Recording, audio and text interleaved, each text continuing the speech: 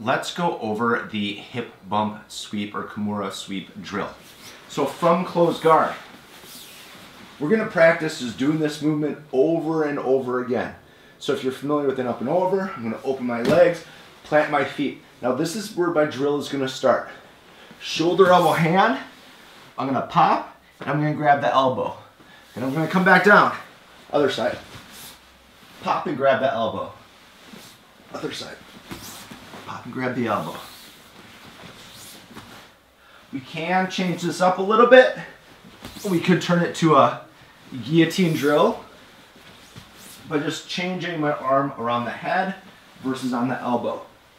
So the guillotine drill, I will go around the head versus capturing the elbow. Make sure we're watching out that we're not hugging our training partner. I love Coach Vern, but this is not gonna help me with this technique. Get my armpit on top of his shoulder. Get my butt off the ground, nice and strong here. Every rep, both feet are planted, and I'm moving smooth. And that is our hip bump drill.